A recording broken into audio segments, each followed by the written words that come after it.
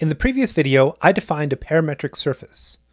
This is a surface in R3 for our purposes that is described by parameters the same way that a parametric curve is described by its parameter t.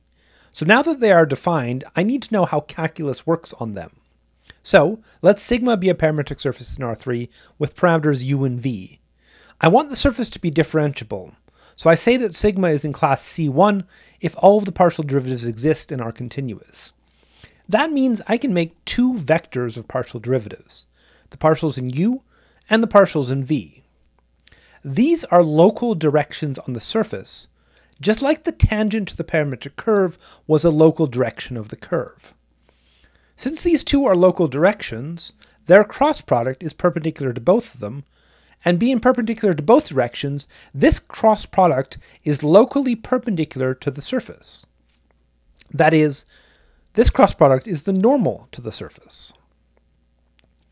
The calculus of a parametric curve was very much determined by its tangent. Everything else, curvature, torsion, all of that, started with the tangent.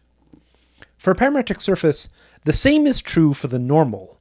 Instead of the tangent, the normal gives all the information about the surface.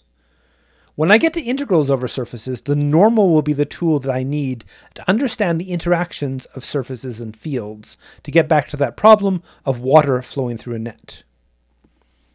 I did five examples in the last video. I'm going to go through all five examples and show you how to calculate the normals. So I'll start with a parametric description of the graph of a scalar field. The method for finding the normal is to take the partials in each coordinate, a vector of each, and then the cross product. For the graph of a scalar field, the partials are 1, 0 del f del u and 0, 1 del f del v, since u and v act like x and y in the domain of the scalar field. Well, then I take the cross product of these two and get this result.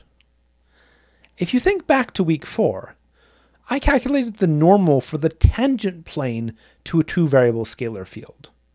Well, this is precisely the same normal. And hopefully that makes sense, because I'm calculating the same idea here, the direction that is locally perpendicular to the surface. I'm just doing it now in a parametric form, but the same vector results. The second general setup I did last video was a surface revolution, the graph of f of x rotated around the x-axis.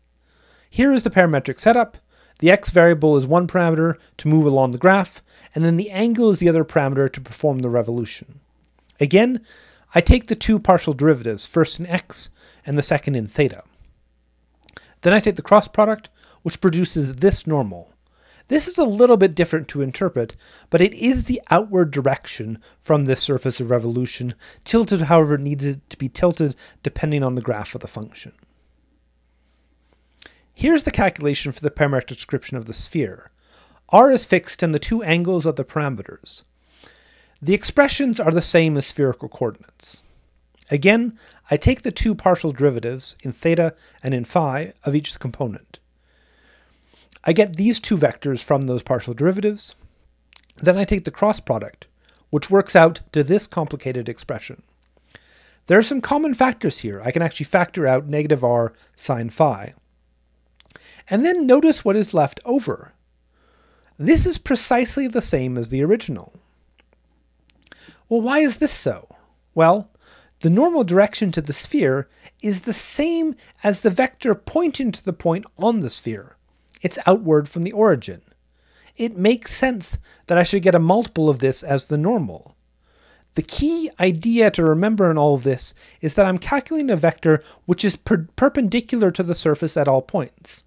The results, though complicated, should match that expectation as they do here for the sphere.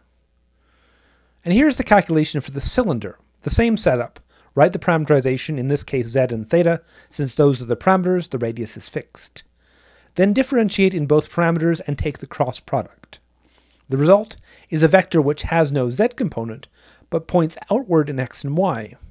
And this also makes sense, since the cylinder has vertical walls, so pointing outward should be in a horizontal direction. Finally, here's the calculation for the cone. I'm not going to go too much into detail here, but the setup is the same. Write down the parameterization, calculate the partials in each parameter, and take the cross product. The calculations here are pretty complex, and the resulting vector is a little difficult to interpret, but I can notice that compared to the cylinder, it has a positive z component. And this reflects the fact that the outward direction from the cone should point upwards and not just outwards because the cone is slanted inwards.